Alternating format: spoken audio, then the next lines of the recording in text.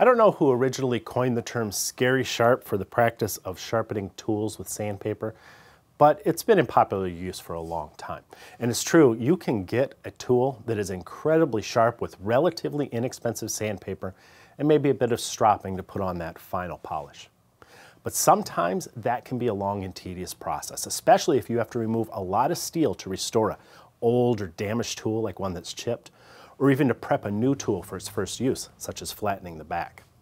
Today, I'm going to show you a variation of the Scary Sharp process that is significantly faster and more effective. In the long run, it'll also be cheaper because it will wear out less fine grit sandpaper.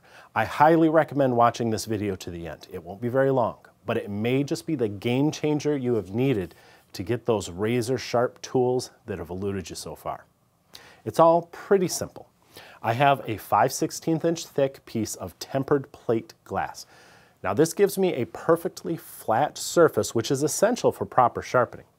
And I've got four adhesive backed sanding discs stuck to it in four different grits. I have 320, 400, 600, and 1000. Now up to this point, this may all seem pretty standard for the Scary Sharp process, right? Sandpaper on something flat. But the key to this variation, what changes everything in my opinion, are those 320 and 400 grit discs because these aren't typical sandpaper. These are special proprietary grit made by 3M. They call it Cubitron 2 because these discs are covered with precisely shaped tiny ceramic cubes. The corners of those cubes stick up like little pyramids and they are super hard. So those two factors combine to create what I think is the perfect abrasive, not just for wood, but for sharpening tools. Today, I'm going to prep a brand new chisel. What a lot of folks don't realize about tools like this is you often have to do a lot of work to get a new chisel ready before you use it the first time. It's not just a matter of honing and polishing the bevel. You also have to do the same thing to the back of the tool because a truly sharp edge is the confluence of two polished planes, not just one. The problem is new chisels, and the same could be said for most older vintage chisels that you find secondhand, don't come usually with flat backs. It may look flat, this one certainly does, but look what happens as I rub it on the sandpaper just a little bit. Notice how the scratch pattern reveals a deep hollow in the back where the reflection appears dull.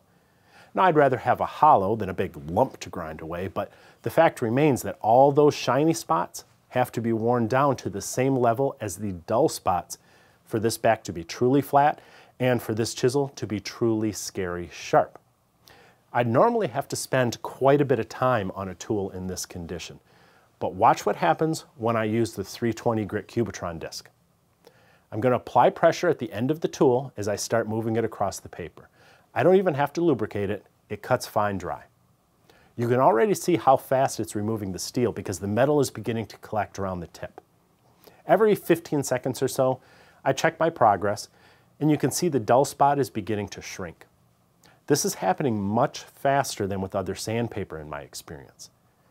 If I do feel the progress is slowing, I can clean the grit with a gum eraser and then get back to work. As I said, this chisel needed a lot of work but I still got it finished in about five minutes. A typical chisel with a back that starts out in a little better shape than this one was would require even less time than that. Now by way of comparison, a chisel in the condition this one started in, I'd normally expect to spend about half an hour with regular 320 grit paper, and I'd have to change that stuff out two, maybe even three times. If I didn't have Cubitron paper though, I would probably speed up the process by just stepping down to a coarser grit of regular sandpaper. But then I'd have to step back up through more grits, which would require more time, more paper, and more hassles. The Cubitron 2 allows me to start with a high grit, use less paper overall, and spend a lot less total time. And now that the bulk of the work is done and the back is flat, I can move through the remaining three grits relatively quickly. I spend less than a minute on each, and I work my way up to a thousand. Now you might have noticed that only the first two grits on my glass were Cubitron 2 sandpaper. That's because it was those two grits that did the bulk of the work, that removed the most steel, especially that low grit. The 600 and the 1000 grits remove very little steel. They're just polishing out the scratch marks. So a less expensive aluminum oxide disc worked just fine for those two high grits. Not that the Cubitron discs are terribly pricey. I think they're around a buck 50 each. And depending on how much steel you have to remove, you might get several chisels out of a single disc.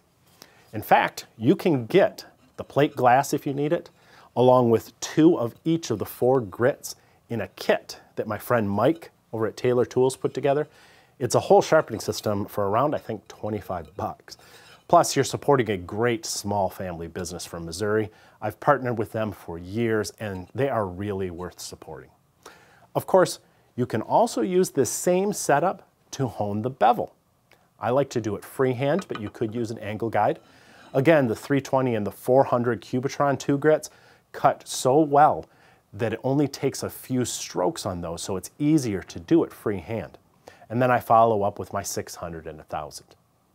I always like to finish up with a leather strop and some paste, and then I'm cutting wood like butter. Today I really wanted to focus on the back of the chisel. That is where this kit really pays off. It is such a nightmare job because it's such a large surface and you often have to remove so much steel. So having a fast, inexpensive way to do it will make a huge difference in how your tools perform. Try it for yourself. What do you got to lose? The links are below this video, in the description, and also pinned to the top of the comment section.